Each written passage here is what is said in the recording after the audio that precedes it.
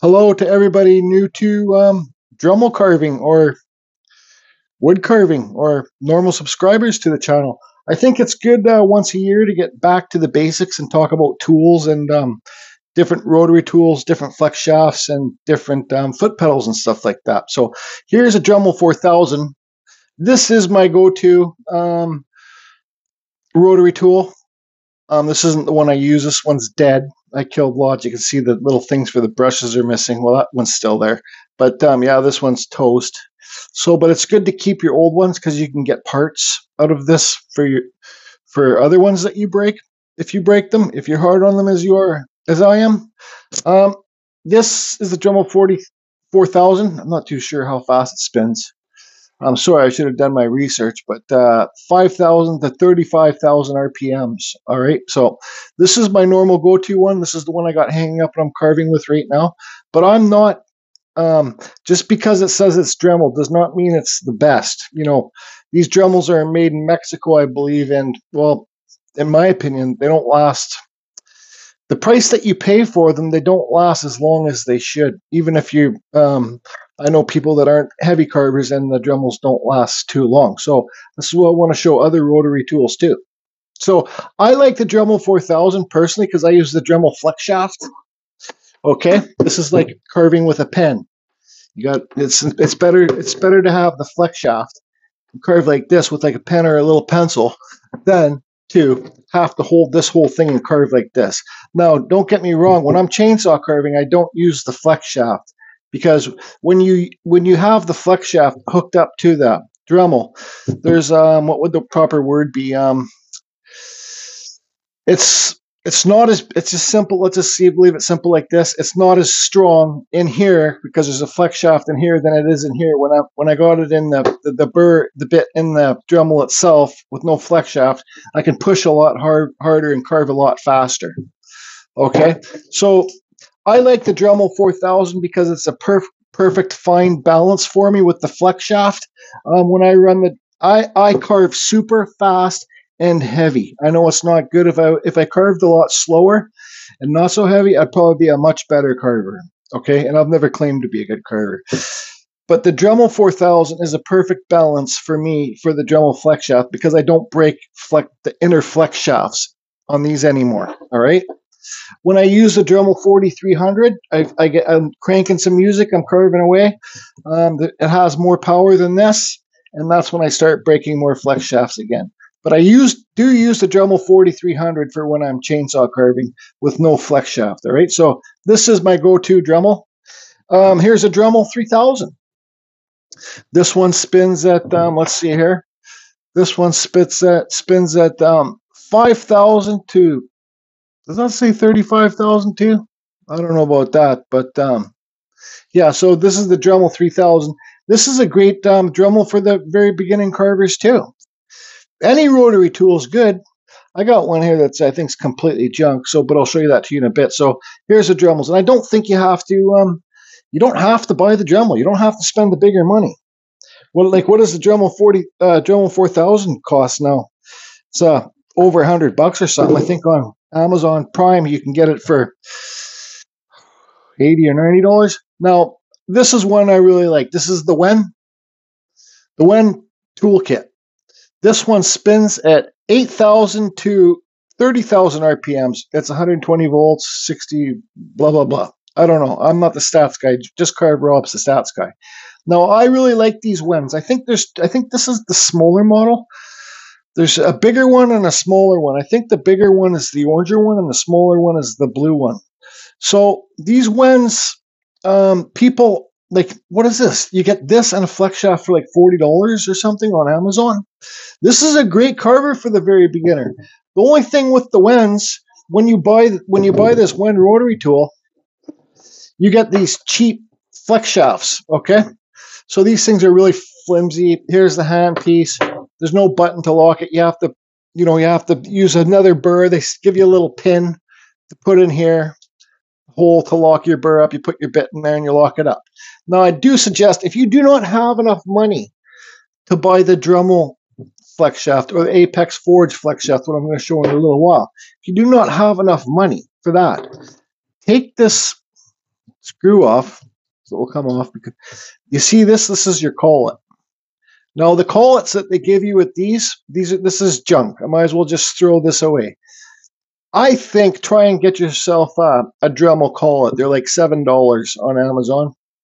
I think they're like eight Canadian dollars. I'm in Canada, so but get yourself a Dremel collet because these collets here, um, the burrs always slide out. Even even if you put in even if you put your burr in here, okay, get your burr in there and you put your pin in here and you lock it super tight like it's gonna break. This burr will still slide out after time. Sometimes it doesn't, but um, for me, it does. I know Amy Joe was just having a problem with that too, and I suggested to, for her to, um, well, actually, she she had the Dremel flex shaft, but her her burr kept on sliding out. It's one of those cheap Chinese, um, you, everything these days made in China, but one of these cheap Chinese cutters. It was in her Dremel handpiece. It keep, kept sliding out, and basically I suggested to her to spend the eight dollars and just buy yourself a new collet. Just uh, Amazon Dremel one eighth collets. That's that's all I run is one eighth burrs. Anyways, so that's that. So if you don't have enough money to buy the Dremel flex shaft, because what is it like fifty dollars now? Forty-five dollars. If you don't have enough money to buy the Dremel flex shaft, just use the one they give you in the kit. It gets hot and it um the the rubber on the thing is not very good. Like I'll show you in a second here. This rubber is not very good. It's super flimsy. I'll show you compared to the Dremel. It's um just way weaker than the Dremel. The Dremel um, flex shaft part doesn't really heat up. So, like I said, once again, I know I repeat, just get yourself a better collet for that if you don't have enough money, or or if you're just testing the waters with wood carving. You know, you just with power wood carving with the Dremels and rotary tools and stuff like that. If you're just testing the waters and don't want to buy the Dremel flex shaft, like I said, just buy yourself the new collet to put in here. This that you get with the Dremel does not thread onto the Wens, I believe. It's been a while since I've used this Wen. Yeah, it doesn't thread on there. So you have to use the normal Wen one and the normal collet inside there. Right, here's your collet, one eighth, and your normal nut. Now to and I've used it lots, but it's not recently. So this is kind of like my standby for when I break Dremels and I got no more left. So sometimes here's your inner flex shaft, like this is the Dremel flex shaft right here, right? Here's the inner flex shaft. You when you put it, you have to put this on first. So because you're gonna have to do it up. When you put this in, sometimes you have to adjust how much you slide it in or out. Do you follow me? Let's open this collet a little bit. Okay, sometimes you need to adjust. Sometimes you need to put it in there more or less. More or less. I usually find less works the best because it's got to reach the hand, the flex shaft, the inner flex shaft needs to reach the hand piece. If you do that, lock it up, and then tighten this up really good because you don't have the square drive in there, but then you do this up and then your Dremel flex shaft's all hooked up. All right. So yes, the Wen the Wen rotary tool, the orange one does take the Dremel flex shaft. You just c- cannot use the square drive collet. You have to use the collet that comes, the one eighth collet that comes with the Wen. Does that make sense to you? So there's a collet in there. Here's your flex shaft, your Dremel flex shaft. Put your nut on there because you're going to need to tighten it up after. Put that in there. Sometimes you need to adjust, like sometimes a little bit less, a little bit more. Put your nut on, then screw it on, and make sure the inner flex shaft, make sure your handpiece is spinning. If it's not spinning, that means you need to slide it out a bit more from the collet because it's too deep in the collet. It's so deep into the collet now, this inner flex shaft, it's not reaching where it needs to reach in here. So, but if you pull it out more and then tighten it like that, it will reach where it needs to, to hit here and it will spin your your bit that you use. I always use the Kutzall bits too, by the way. Okay, so that's that. So there's the Wen. I hope it was um hope you could understand my crazy nonsense. We're gonna run this all in one video. So I really love the Wens. The Wens are good and they're cheap. The next um this one here, This is just called a rotary tool. I think it was like $25. It's um it's pretty well I don't like it. I tried to use it at my chainsaw tent, but um, I don't know even what it spins at. Eight to thirty-five thousand, and that's absolutely not true.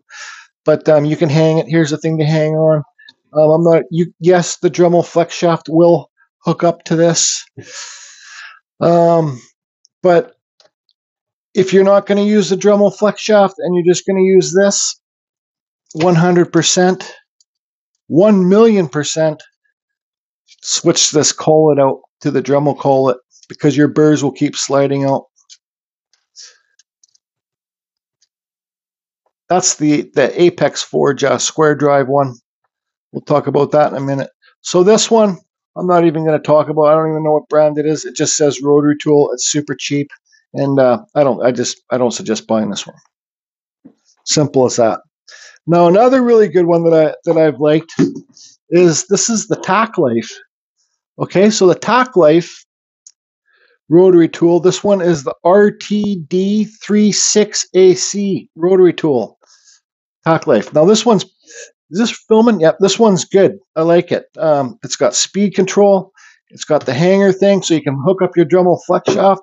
Here's the is that the Dremel square drive I got on here? Because yeah, this is the Dremel square drive. Okay, so when you buy a Dremel flex shaft, it will come with this. It will come with a square drive. I don't know if you can. Let me stand up. See if you can see that a square drive. Is that square drive? Yeah, it is. Yep. So this is the one that comes with the Dremel kit when you buy it, the Dremel flex shaft. It'll be in a little pack, and you get one of these fruity little wrenches. Right. So here's the Tack Life.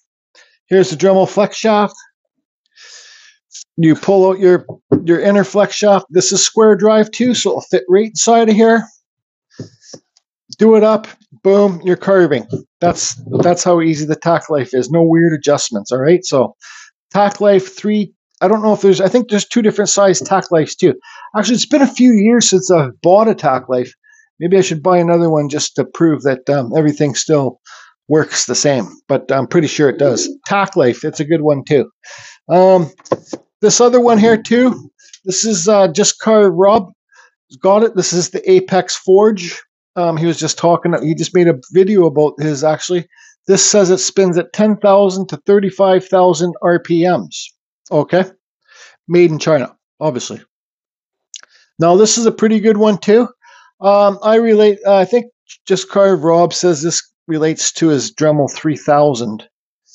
So um, it's a very, very good um, carvable one. And just carve, Rob. Yeah, the tack lifes, I believe, still come with these cheap, these cheap um, flex shafts. But I told everybody how they can get a better collet to put in there. So here's the, the tack life one. You just undo this nut here. Actually, uh, Tack Life sent these um, these to me and just Carve Rob. Well, they sent me one, and I said, well, you got to send my friend Rob one too. And they did. So that was nice of them. And they sent us a cordless one too. So just, oh, got to push a button until unlock it. Or whatever. One of, no, there you go. There you go. Yeah. Yeah, yeah, yeah. So what's in here? So you just got a round qual round collet in there, but this is square drive. So you don't even need to collet in there if you're going to use the flex shaft. So boom, put that on. Put the thing in the thing. And this the, this one too has a little stopper on it. There's a little little tag thing there, a little pressure fit um, o- copper O-ring. So it just lets you perfect in the perfect amount. Then you just do it up and you're off to the races. But I don't like those um, cheap flex shafts. So here's I don't did the tack life did this did this one fit the Dremel flex shaft? So here's a Dremel flex shaft in my hand. So you just put it in there. Okay, that's right. But to use this one and do that, I know this is it's boring and stuff like that, but how else can I uh, explain? You have to use the round collet for the Dremel um, square drive because this square drive is bigger than the Dremel one. This is bigger. I guess the Tack Life end is bigger too. So you put this on like you did the other one. Put it in the round collet. You do it up, and then you do it up. And then, let's see here. I'm going to have to pull this whole flex shaft off to try and get it to line up properly. Lock her up. Screw on, and there you go. You're off to the races. Okay? So when I spin this, I'll see the I should see the motor spinning or hearing it. And I do. So that's that. So the Apex Forge is pretty good too. Um, that's really it for the. Uh, I think I, I like the Wens and the tack Lifes. It's T A C K, tack Life. I like the Wens and the tack Life. I've used like a whole bunch of other knockoff Dremels too. So that's that.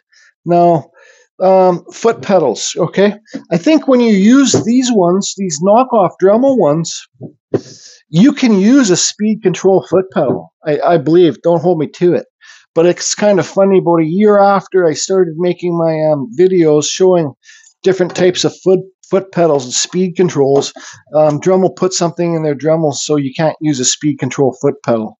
Um, you can use an older Dremel and the speed control foot pedal will work, but not the newer ones if that makes sense to you. The newer Dremels, you cannot use. All you do, all I do, say if this Tack Life can use a speed control foot pedal, all I do is crank it up to maximum. I turn this at maximum and I keep it at maximum. Then I hook, plug this into my foot pedal. Um, I plug, plug this into the foot pedal. So here's just a, a cheap on off foot switch. It's called a foot pedal switch. Okay. 110, 120 volts. So here's a plug-in. This goes to your, your foot pedal.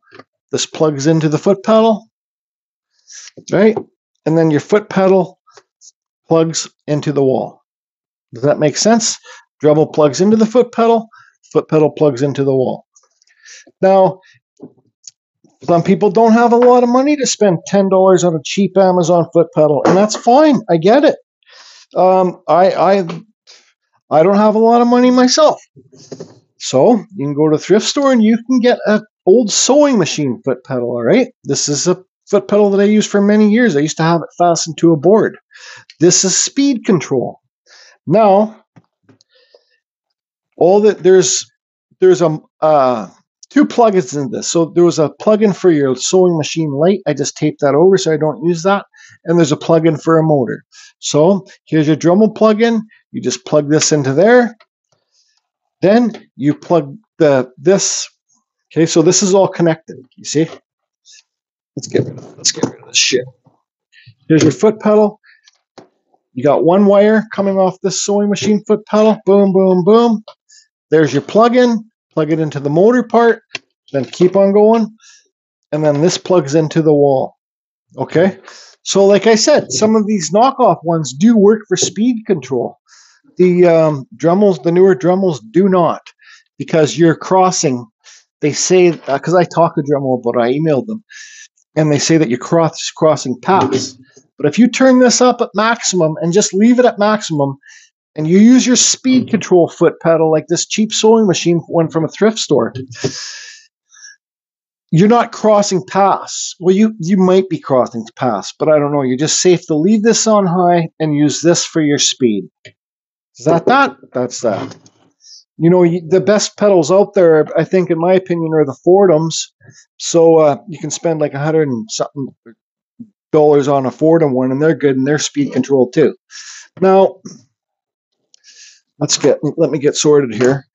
I'm just trying to run this all live, so here's your three flex shafts. Here's your generic brand one that you're going to get in most cheap Dremels, like in the Wen and the Tack Lifes. I showed you how to make it better. Um, pull the take that nut off, pull the collet out, put a Dremel collet in. Now another thing too, when I get these flex shafts right out of the box, I pull this inner flex shaft out. All right. Now there's a spring and there's like a spring inside here too. Now I get a rag and I wipe off all the grease. I don't care what anybody says. Sometimes these things come with too much grease. The grease will get into your handpiece and your handpiece will overheat. All right? Does that make sense? I like these flex shafts with less grease. I, I don't once I wipe the grease off, I don't put new grease on it. I just leave it. Less grease is better. Um, I haven't broken a flex shaft in a long time. My flex shafts do not overheat. And I carve fast, full throttle, green wiener, 24 7. I just always carve as when you're using an on off foot pedal, I just I click it on and I have my Dremel set at maximum. I'm always running at full speed. I just go harder to the touch or lighter to the touch. All right. So I really suggest this um, Apex Forge. This is the Apex Forge off flex shaft. I don't. I believe the these when you buy an Apex Forge rotary tool. Um, just Carve Rob was actually wondering on this video, but I don't think they come with these. You might find this a package now because it's been like a year later, but I'm not too sure. The Apex Forge usually comes with this cheap one, but I suggest getting this Apex Forge. Um, one, it's great. Like I just made a video talking about on a video. This is how you lock it by that button right there. It's push. You the Dremel one, you put your finger on and you wear the pin down. But this one's great because there's you, you can have your finger on it and carve and not even affect it. The Dremel the Dremel one is um it's a flaw. Dremel would probably never admit it. And Dremel knows who carving fusion is. Absolutely, they do. Oh yes, they do and they probably don't like me because I show stuff like this, and I really do not give a shit. Um, I never want to be sponsored by anybody. That's not why I do this. I get free stuff. I got a drill, and I got some. Actually, I got a cordless rotary tool. I got to make a video for because I was gonna just get the the rotary tool and then make the video and give it to a friend of mine. But so the Dremel one, you see, this is your locking pin to undo your nut. So lots of times I'm carving, not even realizing that my fish, my fingers putting pressure on this pin, and uh, you're just going to screw it up. Uh, big wheels there in the UK. He's put uh, epoxy around his up here, raised it up so when his fingers on the pin, it can't. When the, his fingers resting here when you're carving, you, you, it it won't hit the pin because the epoxy or epoxy sculpt has raised it up. Anyways, that's it, everybody. Um, you do not have to buy the Dremel. You do not have to buy the expensive Dremel flex shaft, but I do suggest it. I do suggest this Tack Life. Uh, David Grass from Texas bought this one for me.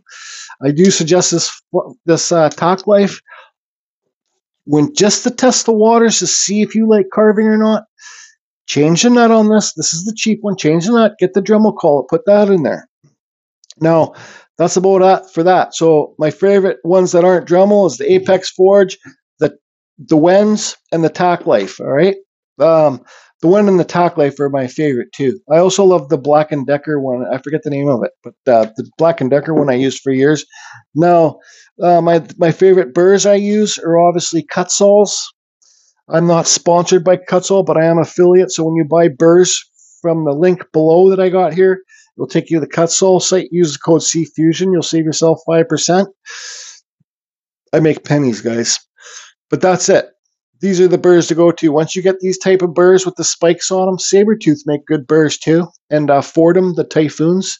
That's what I started out with, the Foredoms, the Typhoon burrs. But um, these spiky burrs are awesome at hogging out wood. Um, they're they're, they're not as let's see if you got if you guys can see good here. So you get some that are really spiky. This is my favorite burr here. It's all plugged up, but this is the extreme flame flame burr. Now here's one a brand new one that I haven't used yet, so you can it's not plugged up, but this is the taper burr. But taper burrs come like you get the shorter shorter reverse cone one, or you get the long skinny one. So you can buy these burrs. The black ones are the most aggressive, like these ones here, that are super spiky. But then you can buy the silver ones that are um, not so spiky. Then you can buy the gold ones, and each burr has uh, extreme, normal, and gold. So each burr has three different: an aggressive, less aggressive, and then like um, gold like sandpaper. Then you can get diamond burrs. Then you can get um, aluminum cutting burrs like this. You know these come these are on Amazon. These come in packages. There's um, I think I went over pretty good, everything pretty good here. You can get um, this sanding mandrels that I use off uh, Amazon. You get like five of these. Just uh, type in. I think these are my Amazon store. Actually, if you want to go to my Amazon, I think you get like ten for like eight bucks. But I put sandpaper on here, and this is how I sand. Turn your Dremels down and just uh, sand away. You can put Scotch-Brite on it too. So this one's got Scotch-Brite. It's just they're just worn down. Oh, here's a better one with Scotch-Brite on it. This is the good 3M Scotch-Brite. You see it? It's separate pieces.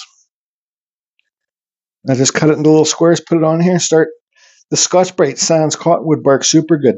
That's it, everybody. Hope you've learned something. You do not have to have the Dremel. A Wen, Tack Life, or Apex Forge, or something cheaper just to test the water so you don't spend a bunch of money. Because trust me, that's why I started this channel to try and help people save money. You get little metalworking burrs, kits like this on eBay or Amazon. These are little small ones for details and stuff like that. There's no end to it. It goes on, and I've wasted so, so, so much money. Um, I hope this is able to help you out and save you some money. Carving Fusion, don't shit your pants. It's the end of August. Halloween's just around the corner. It's going to be here tomorrow, it seems like. Um, long live the Pumpkin King. This carve Rob made this for me one year when I carved 60 pumpkins. And um, so I'll be on to probably one of my next videos should be I'm going to Vancouver Island for a couple days to go mushroom picking, to pick chanterelles, uh, maybe go beachcombing. Um, so I'm going to come back, start carving pumpkins. Then I'm going to start carving the Christmas trees. Yep, Christmas is just around the corner too. It'll be here in no time. Um, hey everybody, do you think Just Carve Rob needs to carve a Christmas tree king for me? I've been bugging him. Come on, just carve, Rob. You can do it. Uh, Jordy needs. Jordy already has the pumpkin king, but he also needs a Christmas tree king too.